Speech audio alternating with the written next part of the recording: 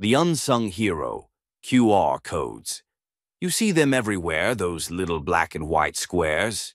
But how much do you really know about QR codes? They're more than just pixelated puzzles.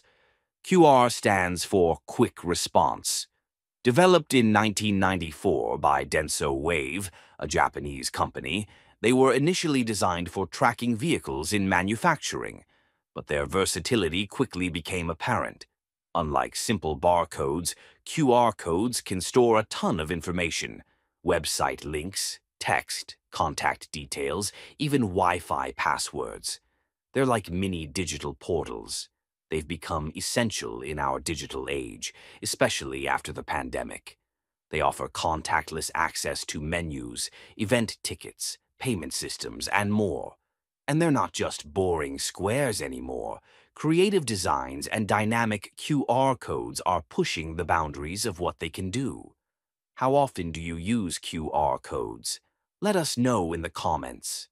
Don't forget to like this video and subscribe to DimusTech on YouTube.